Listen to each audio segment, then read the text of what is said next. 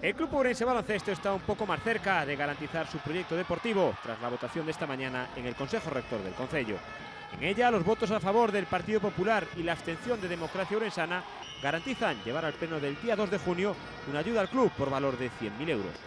Una cantidad que no sería más que el adelanto de la subvención al club para la próxima temporada y que le permitiría hacer frente a las obligaciones contraídas con la Seguridad Social y con Hacienda.